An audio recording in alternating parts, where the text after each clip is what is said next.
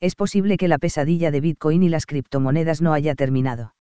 El riesgo de que los precios caigan en torno a los 20 mil dólares es una realidad para muchos analistas, lo que ya supondría una caída significativa respecto a los niveles actuales. Sin embargo, el administrador de fondos de EU ve el riesgo de que Bitcoin caiga a cuatro dígitos, según el análisis del gráfico.